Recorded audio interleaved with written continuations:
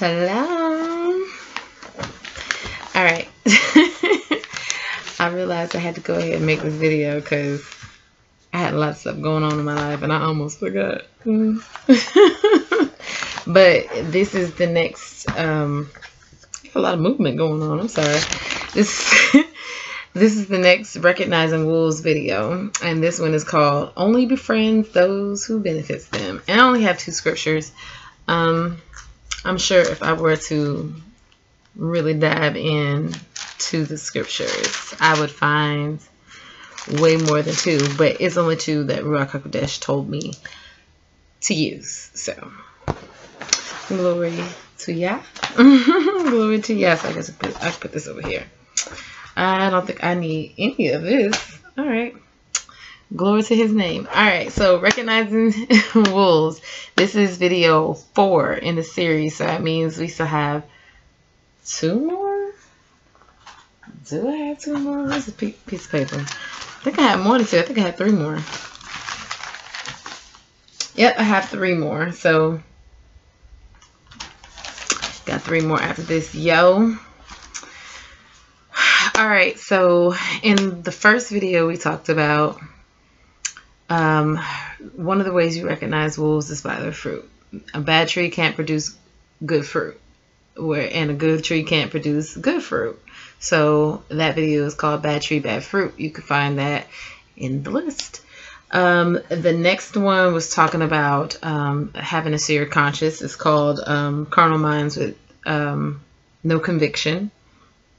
And then the third video was talking about how they twist scripture and I don't know if I mentioned this in because I use um, Habakkuk um, chapter 2 when I talked about that. But you know, also another good one for the twist in scripture is my favorite scripture, go to scripture I always use, Matthew 4 verses 1 through 11, because that's where Hashatan actually takes scripture and twists it.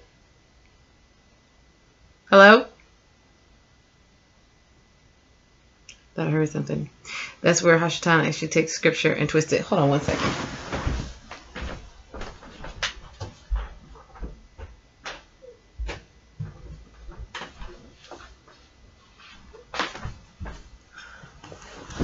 I promise you I could have heard somebody say something. Anyway. so this one, again, oh, I just lost my little place mark, huh? This one again is called Only Befriends Those Who Benefit Them. So the, I'm just going to dive right in. So in this scripture, this is Luke 7 verses 36 to 50. This is actually when Yeshua goes and he is invited, well, he's invited to dinner um, at a Pharisee's house.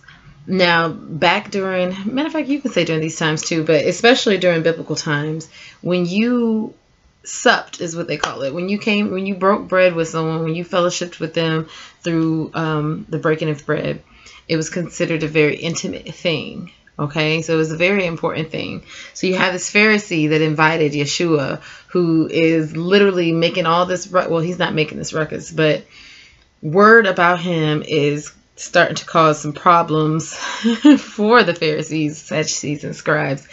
Um, because he's, you know, healing people, casting out demons, so on and so forth. So this Pharisee takes it upon himself to invite Yeshua back to his house. Now it sounds all willy nilly and whatnot, but let's listen to how this snake finally reared its ugly head in the scripture you see his true motives as to why he brought brought him out. I mean, brought him, invited him to dinner. Okay, so this is Luke 7, verses 36 to 50. Then one of the Pharisees asked him to eat with him, and he went to the Pharisee's house and sat down to eat. And behold, a woman in the city who was a sinner, when she knew that Yeshua sat at the table in the Pharisee's house, brought an alabaster flask of fragrant oil and stood at his feet behind him weeping, and she began to wash his feet with her tears, and wipe them with the hair of her head. And she kissed his feet and anointed them with the fragrant oil. Now, when the Pharisee, this is where you see his true motives start to come out now, okay? Because these snakes, they, I mean, these wolves, they can't keep their mask up for too long, okay?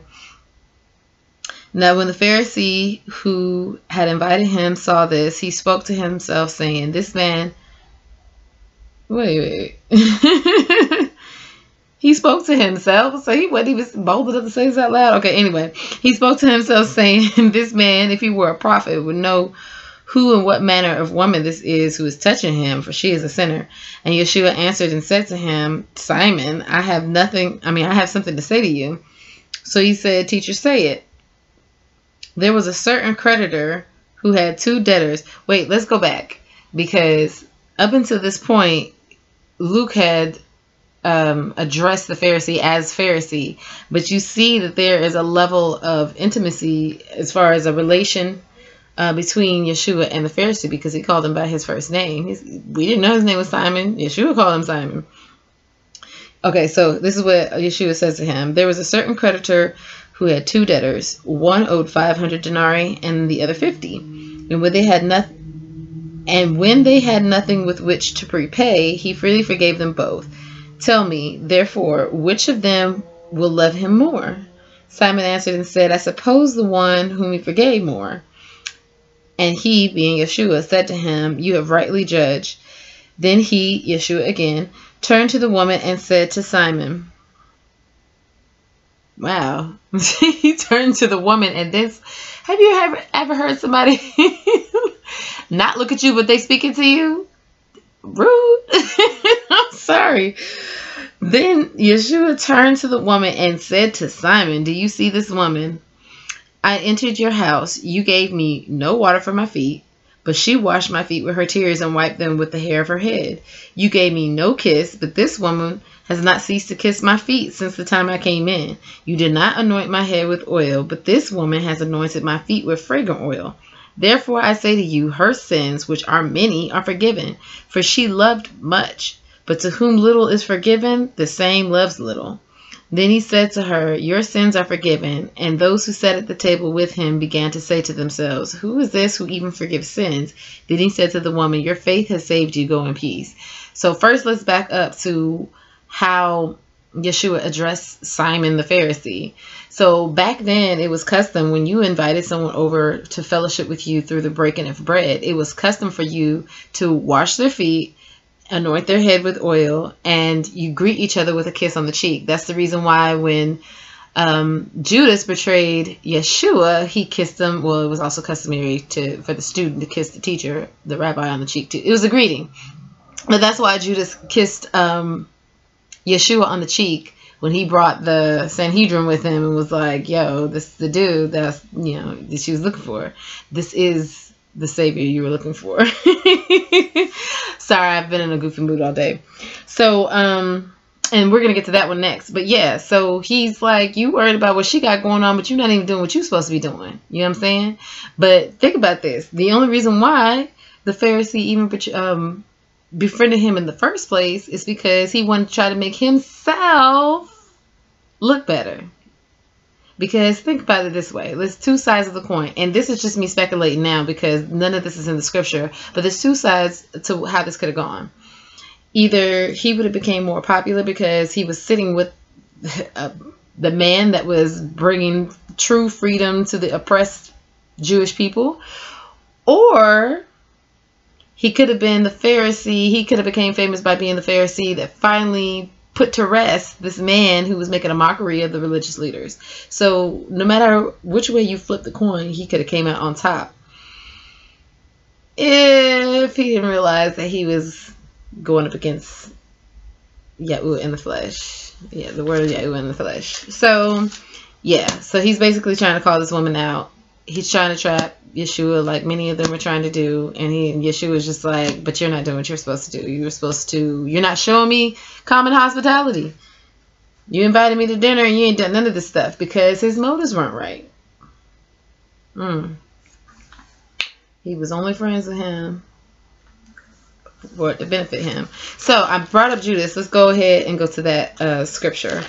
So this is going to be, um, the first part is going to be Mark 14, verses 10 to 11, and then we're going to skip down in the same chapter to verses 43 to 50. Okay, so starting at, was it Mark 14? Yeah. So let's go all the way back. Okay, Mark 14, starting at verse 10 says, Then Judas Iscariot, one of the twelve, went to the chief priests to betray him to them. Now remember, let's go back. Then Judas, one of the twelve, that's the twelve disciples.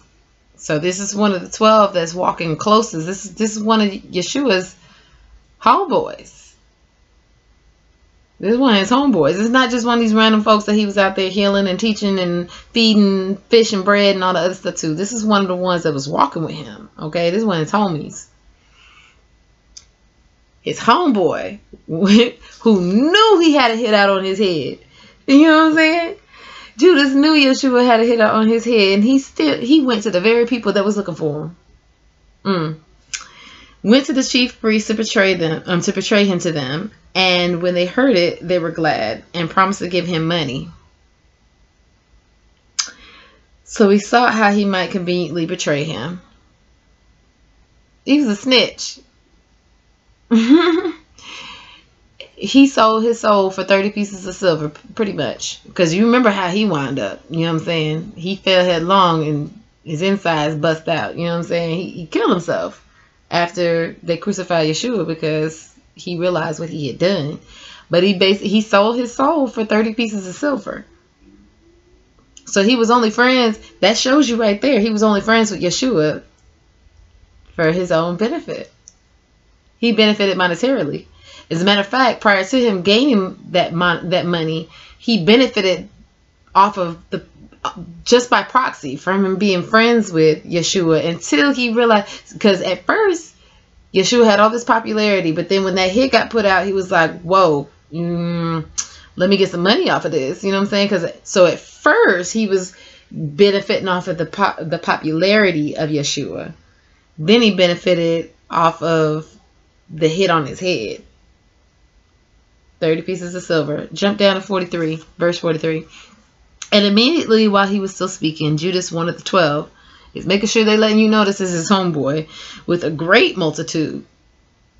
So he didn't just bring like a few police officers. Like he came with a whole lot of people. Like, yo, that's the dude you was looking for. This is the savior you were looking for. with a great multitude with swords and clubs. He came with a mob, yo. He came with a whole lynch mob, pretty much. Like he came with a lynch mob. Slimy. came um, came from the chief priests and scribes and elders. Now this betrayer, now he don't even have a name, had given them a signal. Like he went from being Judas to being his betrayer. Mm had given them a signal saying, Whomever I kiss, he is the one. Seize him and lead him away safely. So remember what I said about the kiss. That's how they greeted each other. That's how a student, that's how uh, uh, the Talmidim would greet their rabbi, their teacher. So the disciple the student would greet their teacher by, with a kiss on the cheek. As soon as he had come, immediately he went up to him and said to him, Rabbi, Rabbi, and kissed him. Remember, I said that's how they greet their teachers. Then they laid, which is another reason why, um, never mind. Then they laid their hands on him and took him. And one of those who stood by drew a sword and struck the servant of the high priest and cut off his ear. Malchus is actually the name of the guy whose ear got cut off. Then Jesus, I'm sorry, then Yeshua answered and said to, him, to them, Have you come out as against a robber with swords and clubs to take me? So he's like, Yo, like, I'm not even resisting arrest. Sound familiar? This been going on since been going on since been going on. So all these um, police brutality against black crimes, that stuff been going on. And yes, I said that because I'm sorry. I love all of my clear folks, but let's just get this straight. Yeshua was not white. he was a man of color. So this police brutality been going on since been going on since been going on since been going on. Just saying. Um,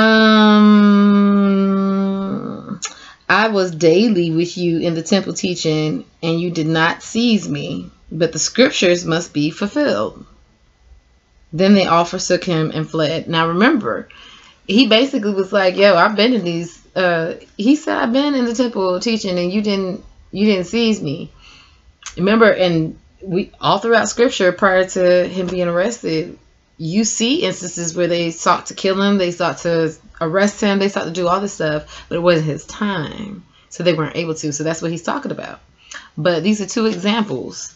You got the Pharisee that knew his heart wasn't right. That's that's the reason why when he brought Jesus uh, Yeshua to his house, he didn't do none of the common hospitality practices with him because inwardly he was a ravenous wolf. He was a sheep in wolf. I mean, he was a wolf in sheep's clothing. He was pretending to be his friend, but he really wasn't. It was his motives. And and go watch the video. Motives matter. Well, the picture says motives matter, but the video is called "What is your motive?" because all this is tying in together. Like you gotta. This is all supposed to be increasing your discernment because we just be going through and somebody sound good, they look nice, they got a huge following. So a lot of folks jumping on bandwagons, not knowing that, that bandwagon is heading straight for the lake of fire. Like, I think you need to know. You need to ask some questions. You know what I'm saying? Don't just be jumping on bandwagons, yo. All right, so that is this video. And it was short. I think I'm getting better at this. Yay. I'm not going to torture you guys with hour-long videos. At least for right now. Don't quote me on it. All right, y'all. So this was the fourth video. Um, I look forward to the last three. And of course, there'll be videos in between. Please, by any means necessary, um, go ahead and look up. I'm sorry. go ahead and, click the description so you can find the links to the newsletter. I have an, um, the seventh newsletter should be out March 1st. Should be out March 1st. Let's pray about that one. I also have, um, you can also use that link to get to my blog. That's all on my Listen Up new, uh, well, my Listen Up website.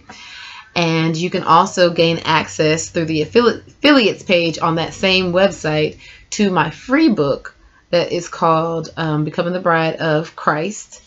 That is um, a PDF that you can download and you can read.